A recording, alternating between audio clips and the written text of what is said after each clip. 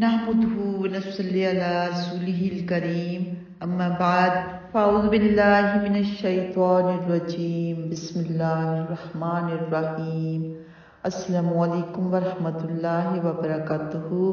आज हम सूरह निसा पर नंबर फोर की आयत नंबर ट्वेल्व की तफसीर और लफ्जी तर्जमा करेंगे ताला वलकुम निस्फु मा तरक अज़वाजुकुम इल्लम यकुल्लहुन्न वलद फ़इन कान लहुन्न वलदुम फलकुम फलकुम रुबु मिम्मा तरकना मिन बाद वसियतिन यूसीन बिहा औ दैन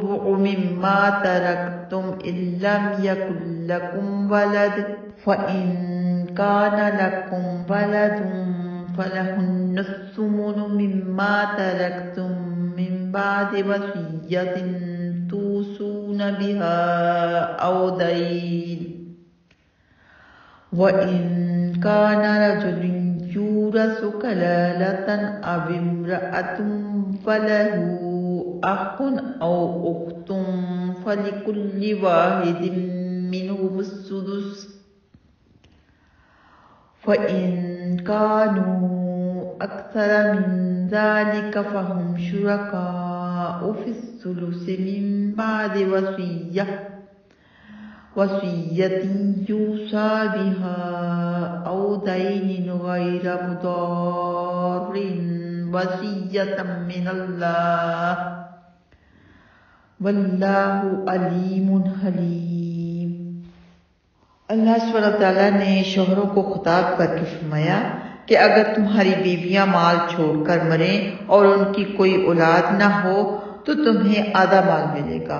और अगर उनकी कोई औलाद होगी तो तुम्हें चौथा हिस्सा मिलेगा। लेकिन विरासत की ये तकसीम कर्ज की अदायगी और वसीयत की तनफीज के बाद ही होगी। और अगर तुम्हारी कोई औलाद न हो तो तुम्हारे तरका का तुम्हारी बीवियों को चौथा हिस्सा मिलेगा। और अगर तुम्हारी कोई औलाद होगी तो उन्हें तुम्हारे तरका का आठवां हिस्सा मिलेगा। और ये तरका उन्हें कर्ज की अदायगी और वसीयत की तनफीज के बाद ही मिलेगा। अगर कोई ऐसा मर्द या औरत मर जाए जिसका जिसका ना बाप हो, ना दादा और ना कोई लड़का ना पोता, ना पड़पोता, ना कोई लड़की, ना कोई पोती, ना पड़पोती। और माँ की तरफ़ से उसका कोई भाई या बहन हो तो दोनों में से हर एक को छठा हिस्सा मिलेगा। और अगर एक से ज़्यादा हो तो सब तिहाई माल में शरीक होंगे। और ये तड़का उन्हें कर्ज की अदायगी और वसीयत की तनफीद के बाद ही मिलेगा। कुरान की इस्तलाह में कलाला उस आदमी को कहते हैं जिसकी ना कोई औलाद हो और ना कोई माँ बाप मौजूद हों। चाहे मेल हो, चाहे फीमेल हो, अगर उसके कोई औलाद नहीं माँ बाप मौजूद नहीं, यानी लफ्ज कलाला, इस बात पर दलालत करता है कि मैयत की शाखें, यानी बेटा, बेटी, पोता, पोती पड़पोता और पड़पोती वगैरह और उसके मुजक्कर असूल, यानी बाप, दादा और परदादा वगैरह। माँ की औलाद जो पहले शोहर से हो, उसको सख्त कर देते हैं। यानी जो औलाद माँ की पहले शोहर से है, उसको सतीले बाप के तरके में से कुछ नहीं मिलेगा। क्यों? क्योंकि उसका जो बाप है, जब वो मरता है तो उनको हिस्सा मिल जाता है। और तरके के बारे में पूरी किताब है, जिसका नाम है कानून विरासत। आयात के मुताबिक, अहदीस के मुताबिक पूरी किताब लिखी गई है और उसका इंशाल्लाह अलहमदुल्ला मैंने कोर्स किया हुआ है। तो मैं चाहती हूँ कि विरासत के बारे में सबको पता चले कि अल्लाह का क्या हुक्म है, क्योंकि बहुत से लोग इस इलम से महरूम हैं, बहुत से लोग अमल नहीं करते। अगर आप लोगों ने कोई भी इसके बारे में सवाल पूछना है, तकसीम के बारे में तो ज़रूर मेरे इनबॉक्स में या फिर यूट्यूब के कमेंट बॉक्स में आप पूछ सकते हैं कि जब माना हो तो रसूलुल्लाह सल्लल्लाहु अलैहि वसल्लम ने दादी या नानी का छठा हिस्सा मुकर फरमाया है। ये अबू दाऊद में मौजूद है। सईदना अब्दुल्ला बिन अब्बास रज़ी अल्लाह बयान करते हैं कि रसूलुल्लाह सल्लल्लाहु अलैहि वसल्लम ने फरमाया, हिस्सादारों के हिस्से अदा फिर जो कुछ बचे, वो करीब तरीन मर्द रिश्तेदार का है, यानी कि जो करीबी रिश्ता है।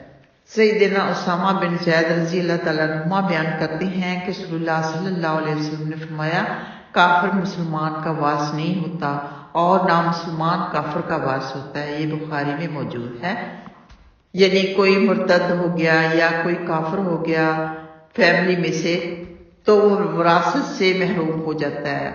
वो विरासत नहीं ले सकता।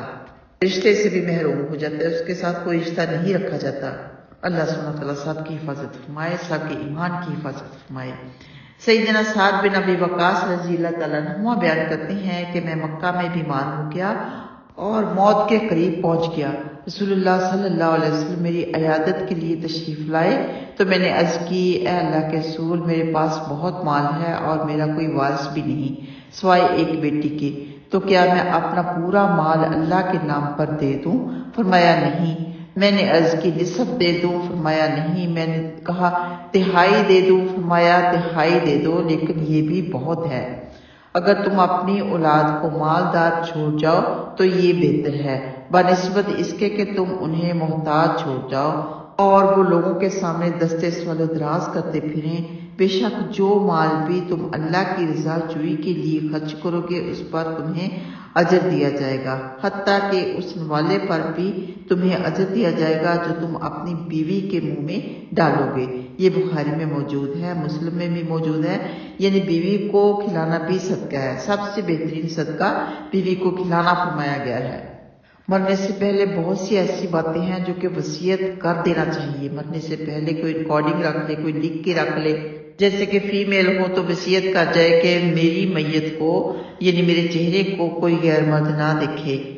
या वसीयत कोई कर जाए कि मेरे मरने पर कोई वैन ना पाए, यानी कोई नोहा वगैरह ना करे तो इस तरह की वसीयतें करके जाना चाहिए।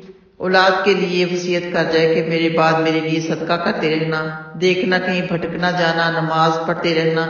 जैसे मैंने अपनी ज़िंदगी में तुमको दीन सिखाया, नमाज़ पढ़ना सिखाया, बाद में भी ऐसे ही रहना।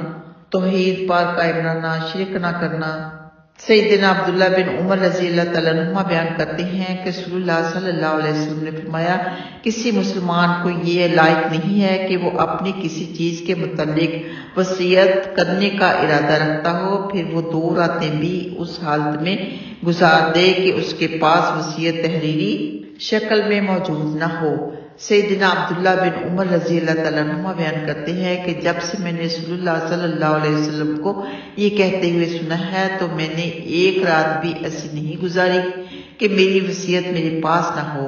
ये बुखारी में मौजूद है। और मुस्लिम में भी आखिरी छोटी सी हदीस सईदना अबू रज़ी अल्लाह बयान करते हैं कि सल्लल्लाहु अलैहि वसल्लम ने फरमाया, मोमिन की जान उसके कर्जे से लटकी रहती है। जब तक कि वो उसकी तरफ़ अदा ना कर दिया जाए। ये तिरमसी में और मुसनत अहमद में मौजूद है। तो जब कोई फौत हो जाए तो ज़रूर सोचना चाहिए कि इसने कहीं किसी का कर्ज तो नहीं देना था। सबसे पहले कर्ज की अदायगी करे, बाद में जनाजा पढ़ाए आइए आते लफ्जी तर्जमा की तरफ़। वलकुम, और तुम्हारे लिए निसफ निसफ है। माँ तरह का जो छोड़ जाए। अजवाजुकुम, तुम्हारी बीवियाँ। इन अगर लम ना यकुन हो लहन्ना उनकी वलदुन कोई औलाद। व इन फिर अगर का ना हो लहन्ना उनकी वलदुन कोई औलाद, फलकुम तो तुम्हारे लिए अरुबो चौथा हिस्सा है।